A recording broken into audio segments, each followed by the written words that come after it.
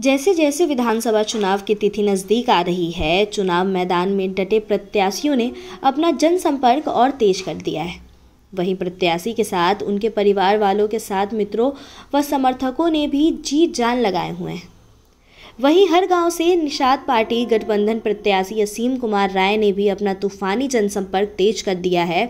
इसी कड़ी में उन्होंने आज आने समर्थकों के साथ दर्जनों गाँव वार्ड नंबर एक से वरही और डंडवा का भ्रमण पर जनसंपर्क किया। असीम कुमार ने भाजपा सरकार की उपलब्धियों का बखान करते हुए अपने लिए समर्थन मांगते हुए पुनः भाजपा सरकार बनाने की अपील किया, जहाँ असीम कुमार राय को आपार जनसमूह का समर्थन मिल रहा है। वहीं उनके बड़े बुज़ुर्ग का आशीर्वाद प्राप्त हो रहा है।